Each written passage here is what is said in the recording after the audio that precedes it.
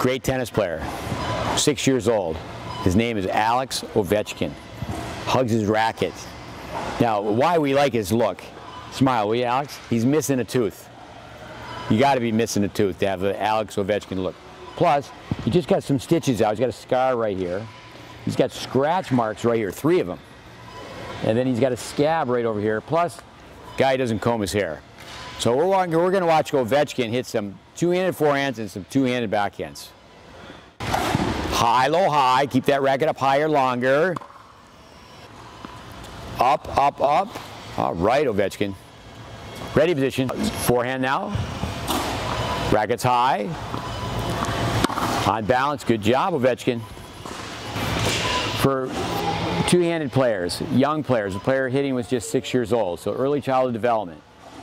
He's a right-hander, so the right hand's going to be on the bottom for the forehand volley.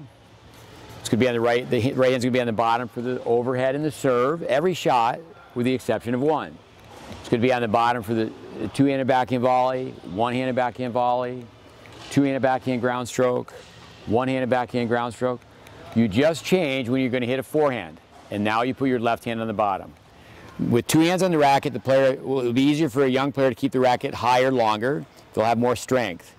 It'll be easier for them to have a conventional grip with two hands on the racket instead of going to an extreme Western grip. And now the racket can be in sync with the body. The racket's up, the body's up, and now they let the racket body go down together. There's been great players that have hit two-handed. Uh, Roger Federer when he was really early, really uh, young, and then Rafa Nadal. Rafa Nadal, uh, for many, many years, hit a two-handed forehand.